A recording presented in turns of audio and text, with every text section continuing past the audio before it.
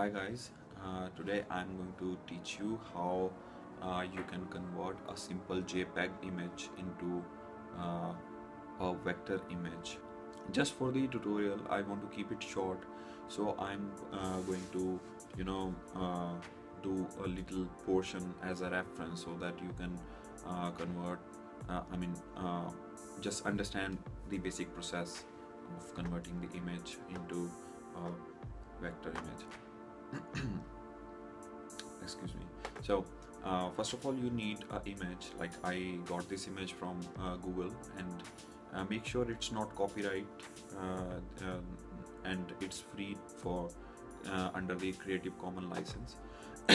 Like I, I didn't have an image so I got this from the uh, Google. So like I'm using the Photoshop CC it's 2014 2014 and uh, um, now as you can see I have made a copy of uh, this image layer and uh, after that uh, after selecting the layer just go here and uh, you will get the option of threshold. Uh, selecting the appropriate threshold level what you what you need to do is select that black region by um, uh, clicking the magic wand tool and make sure it's not continuous. So uh, when continuous is not pressed all the black area will be selected as you can see here. So after this what you need to do is create a new layer and uh, just fill it with any color I did uh, like I am using Windows PC so I clicked alt and delete as the black color is on top. So this is the shortcut key and I love using the shortcut keys. So as you can see some of the blur areas all are also coming as, coming as it's a um, rasterized image. So after after doing that what you need to do is click control and just click that layer control and left click uh, press the left mouse button and it will select the black area again. And after that just go here and click make work path. When you will select this. Excuse me. Weather is ba getting ba bad bad here so so I will select the tolerance level to 1.4 pixels. And when I will click you can see you got the work path. Now you can cut this and in the new layer or you can make any object like here outside and outside of your canvas and simply click paste. I basically press the uh, control X command or cut before pasting the uh, the line lines here. Now as you can see it's quite smooth as compared to your previous selection. So you can easily export this um, uh, shape uh, data to any um, Illustrator or uh, Corel Draw application.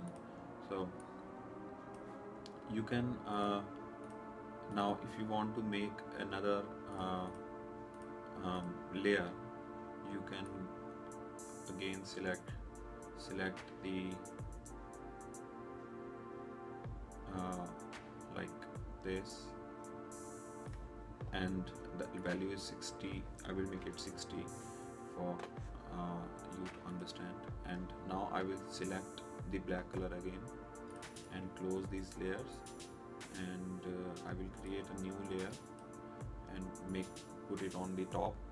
And I will press alt and delete to fill that color. So now I will click control and left mouse button which will make a selection. And now I will click right click and select from the menu make work path.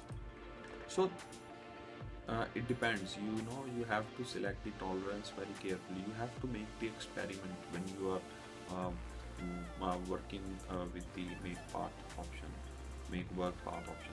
So I will click OK and I will see if it's now uh, coming nicely. I will make undo it and then I will redo it. Or I will just simply click make work path.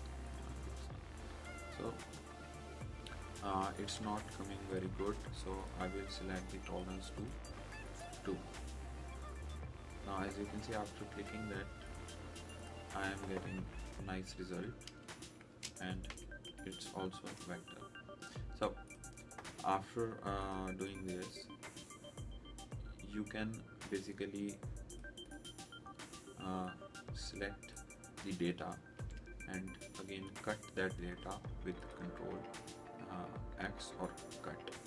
And now again create a new uh, solid object from here.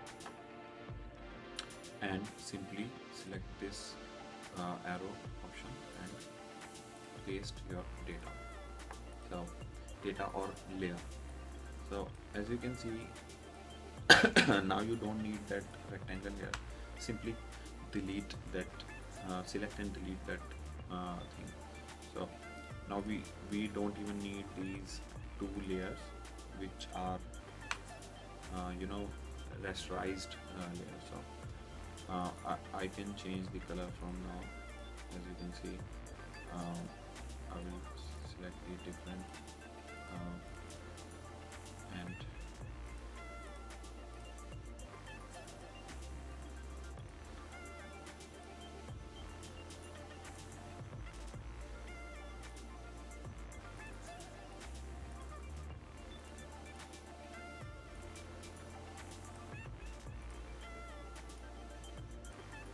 just uh, for the uh, to get the idea I will create a uh, uh, fill the layer with a white background so to make it look nice I am going to uh, add a layer adjustment layer and put a gradient above it. And I'm going to select uh, um, yellowish orangish color. And here also I will uh, select the same orangish uh, but in the light and I will fill it. And now you can either multiply over it just you know experiment. This one was looking good so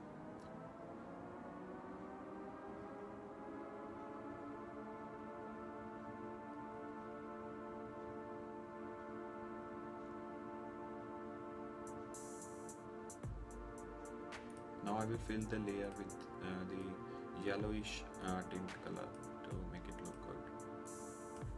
I mean I am done with the process. I'm just uh, making the image look good. So after uh, doing this make sure to uh, like um, um, make a backup like like I love to do I call it BKB and make a duplicate group and uh, mark it red and lock it and close it. So it's safe from anything else. So now here uh, what you need to do select these two layers and you can see it's looking good even as this I can reduce the opacity to make it you know give it a posterized posterized look. Like if you are creating a poster or something this might be useful for you guys. Um, and uh, like uh, these are the stray stray areas which I don't want. So I can uh, delete that and like this one as well.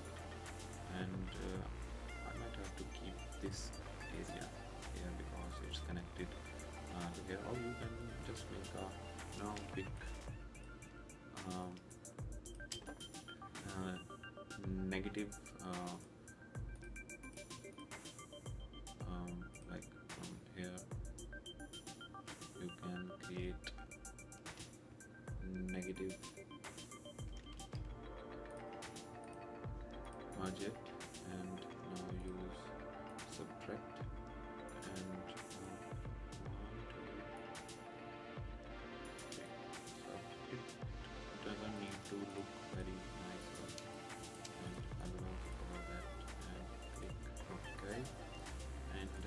can see it's now uh,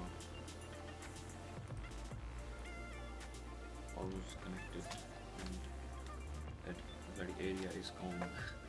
So that's all.